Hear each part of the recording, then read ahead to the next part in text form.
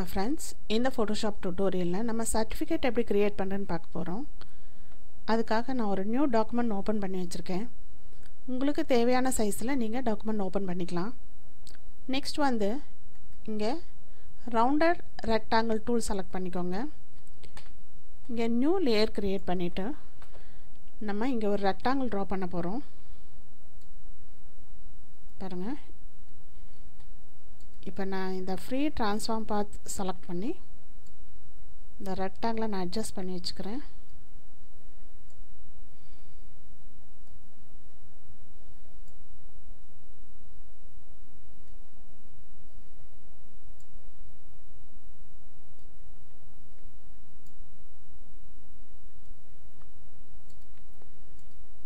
Next வந்து பாத் select பண்ணி இங்கே மேக் செலக்ஷன் கொடுத்துருங்க.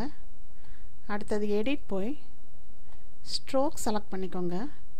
இங்கே வித் டுவெண்ட்டி பிக்சல் செலக்ட் பண்ணிவிட்டு கலர் வந்து உங்களுக்கு தேவையான கலர் செலக்ட் பண்ணிவிட்டு ஓகே கொடுத்துக்கலாம்.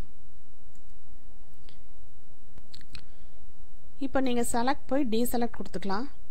நெக்ஸ்ட்டு நான் ஒரு இமேஜ் ஓப்பன் பண்ணி வச்சுருக்கேன். பாருங்கள் இந்த டிரான்ஸ்பாரண்ட் பேக்ரவுண்டில் இருக்கிற இமேஜ் இந்த இமேஜை நான் கார்னரில் டிசைனாக ஆட் பண்ண போகிறேன் செலக்ட் ஆல் எடிட் காப்பி இங்கே எடிட் பேஸ்ட் கொடுத்துருங்க. இந்த பார்டரை நான் ஹைடு பண்ணி வச்சுட்டு இந்த டிசைனை நான் மூவ் பண்ணி இந்த கார்னரில் வச்சுக்கிறேன். நெக்ஸ்ட் வந்து கண்ட்ரோல் ப்ளஸ் ஜே ப்ரெஸ் பண்ணி இதோட காப்பி லேயர் கொண்டு வாங்க.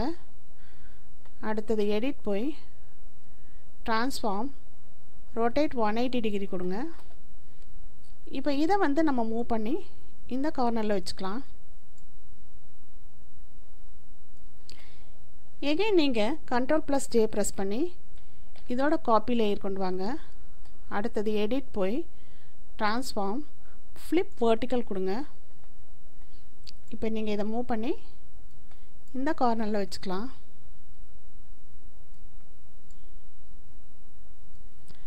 Again control plus J press பண்ணி இன்னொரு காப்பி கொண்டு வாங்க. எடிட் ட்ரான்ஸ்ஃபார்ம் இங்கே again rotate one eighty degree கொடுங்க. இதை நம்ம மூவ் பண்ணி இந்த கார்னரில் வச்சுக்கலாம்.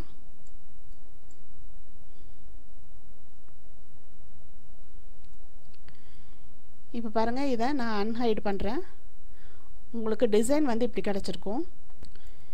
இப்போ நான் இந்த பார்டர் லேயரை செலக்ட் பண்ணிவிட்டு எரேசர் டூல் செலக்ட் பண்ணிக்கிறேன். இந்த டிசைன்குள்ளே இருக்கிற பார்டரை மட்டும் நான் இப்படி எரேஸ் பண்ணி எடுத்துட்றேன். இந்த டிசைன்குள்ளே போன பார்டர் ஏரியாவை மட்டும் எரேஸ் பண்ணி எடுத்துடலாம்.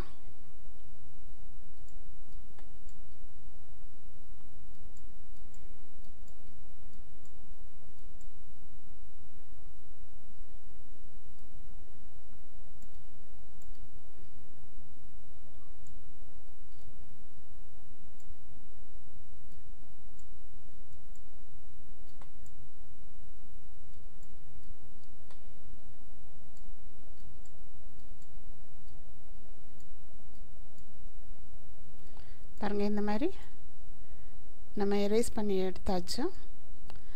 அடுத்தது இந்த பேக்ரவுண்ட் லேயர் தவிர எல்லா லேயரையும் செலக்ட் பண்ணிவிட்டு நம்ம மர்ஜ் பண்ணிக்கலாம்.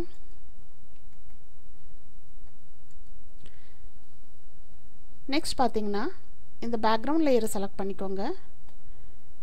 எடிட் ஃபில் இந்த கலரை நான் ஒயிட் கலர்லேருந்து வேறு கலர் மாற்றிக்கிறேன் கலர் செலக்ட் பண்ணிவிட்டு உங்களுக்கு என்ன கலர் இருந்தால் நல்லாயிருக்கும்னு நினைக்கிறீங்களோ அந்த கலர் நீங்கள் செலக்ட் பண்ணிவிட்டு ஓகே கொடுத்துக்கலாம். பாருங்கள் இந்த மாதிரி நம்ம கலர் ஃபில் பண்ணிட்டோம். இப்போ வந்து நமக்கு தேவையான டெக்ஸ்ட் ஆட் பண்ணலாம். ஒரு நியூ லேயர் க்ரியேட் பண்ணிக்கோங்க. டைப் டூவில் செலக்ட் பண்ணிவிட்டு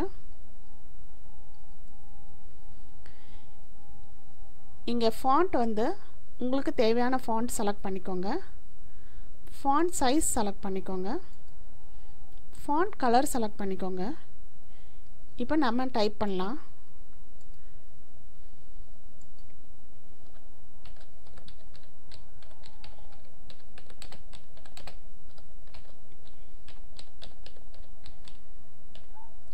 ஸோ இந்த மாதிரி நான் டைப் பண்ணிக்கிறேன். அடுத்தது பார்த்தீங்கன்னா இங்கே பாருங்கள் வார்க் டெக்ஸ்ட் இருக்கும். அந்த ஆப்ஷனை செலக்ட் பண்ணிவிட்டு இந்த ஆர்க் செலக்ட் பண்ணிக்கோங்க. உங்கள் டெக்ஸ்ட் வந்து இந்த மாதிரி ஆர்க் மாதிரி ஆயிருக்கும். இதை நீங்கள் மூவ் பண்ணி வச்சுக்கலாம்.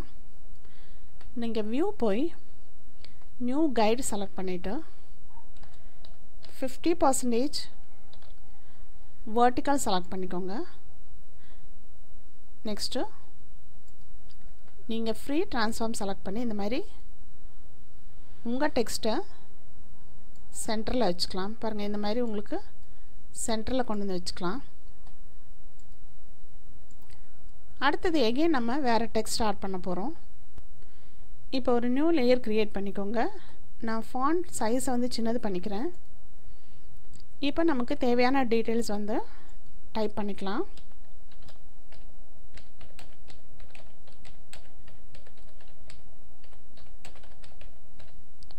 பாருங்கள் இந்த மாதிரி டைப் பண்ணிக்கலாம். நான் ஒவ்வொரு லைனும் தனித்தனி லேயரில் டைப் பண்ணிக்கிறேன்.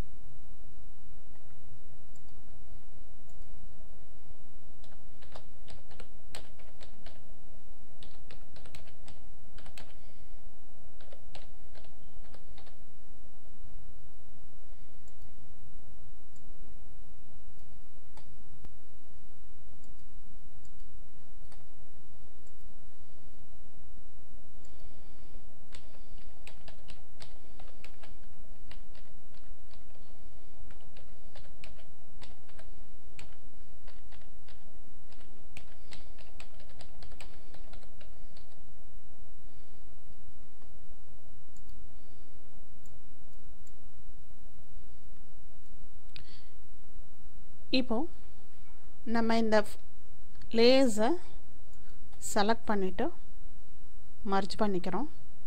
ஃபஸ்ட்டு ராஸ்ட்ரைஸ் டைப்னு கொடுத்துட்டு அப்புறம் மர்ஜ் பண்ணிக்கலாம்.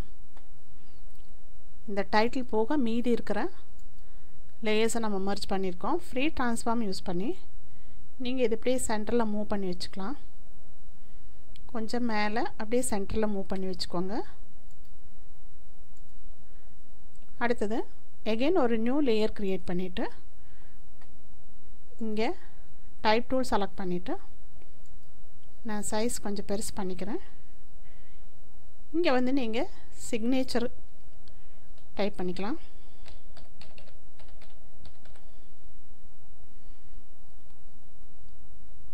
இங்கே பார்த்தீங்கன்னா ரெண்டு பேரோட சிக்னேச்சர் பண்ண வேண்டிய அவசியம் இருந்துச்சுன்னா இந்த லாஸ்ட்டில் ஒரு சிக்னேச்சர் இந்த லாஸ்ட்டில் ஒரு சிக்னேச்சர் கொடுத்துக்கலாம். இதை மூவ் பண்ணி இப்படி சென்டரில் வச்சுக்கிறேன்.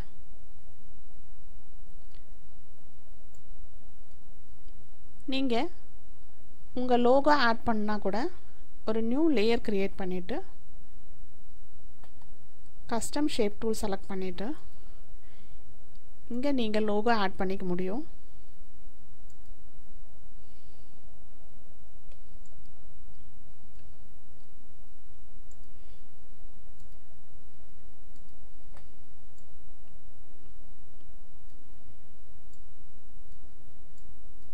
பாருங்கள் இங்கே நீங்கள் லோகோ ஆட் பண்ணிக்கலாம்.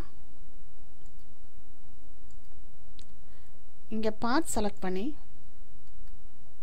பாத் நேம் கொடுத்துக்கோங்க. ஒர்க் பாத் செலக்ட் பண்ணிக்கோங்க. எடிட் ஃபில் இந்த லோகோ கலர் வந்து ஃபில் பண்ணிக்கிறேன்.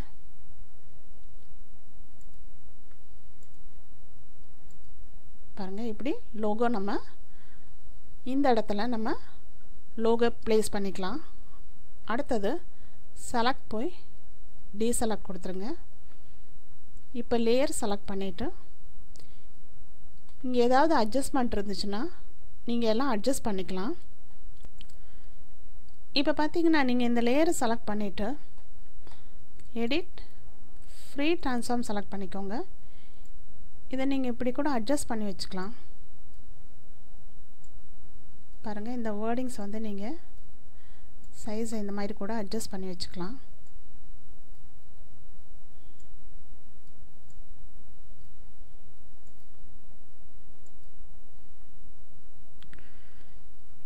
இப்போது நம்ம சர்டிஃபிகேட் ரெடி ஆயிடுச்சு. இதிலே நீங்கள் பேக்ரவுண்ட் கலர் மாற்றணும்னு நினச்சிங்கன்னா நீங்கள் பேக்ரவுண்ட் லேயரை செலக்ட் பண்ணிவிட்டு வேறு கலர் கூட ஃபில் பண்ணி பார்த்துக்கலாம்.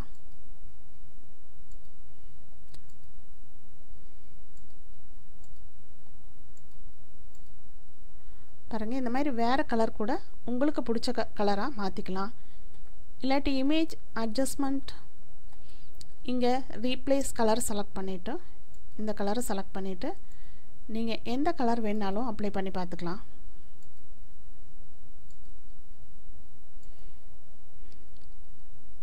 ஓகே கொடுத்துக்கலாம். ஸோ ஃப்ரெண்ட்ஸ் இந்த ஃபோட்டோஷாப் டியூட்டோரியலில் நம்ம சர்டிஃபிகேட் எப்படி க்ரியேட் பண்ணுறேன்னு பார்த்தோம். இந்த டூட்டோரியல் உங்களுக்கு புரிஞ்சிருக்குன்னு நினைக்கிறேன். தேங்க்யூ ஃபார் வாட்சிங்